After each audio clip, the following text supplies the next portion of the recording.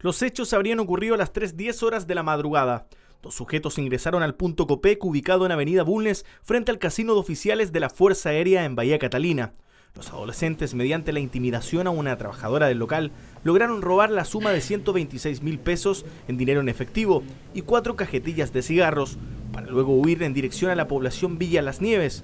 Las trabajadoras del local llamaron a carabineros, quienes en una ronda por el sector lograron dar con el paradero de los presuntos autores, dos jóvenes de 17 años de edad, quienes fueron reconocidos por sus vestimentas.